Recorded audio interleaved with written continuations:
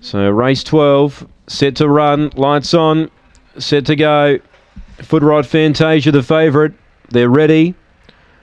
Set away. Good line out here. Smashing Blue trying to boot through the inside. It's kicking up. It's kicking through and leads. Now in second placing, Aston Kilkenny. Wider out Zenga Bale. Further back in the field, Sedonix.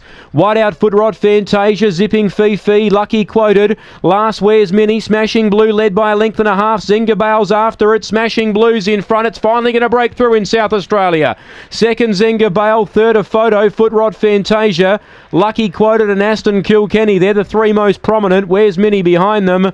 And Sedonix back to the rear with Lucky quoted 22 62. It's 1, 3, and 8. 7 is fourth.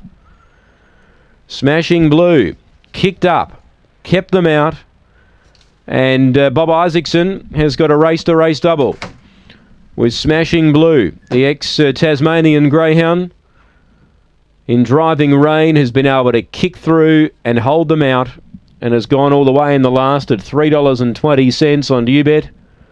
Zengabale has chased hard into second.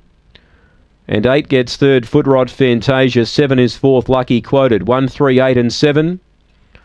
2 is fifth, 22.62. 10.21 early, 12.41 the run home. A length and a half by a length and a half.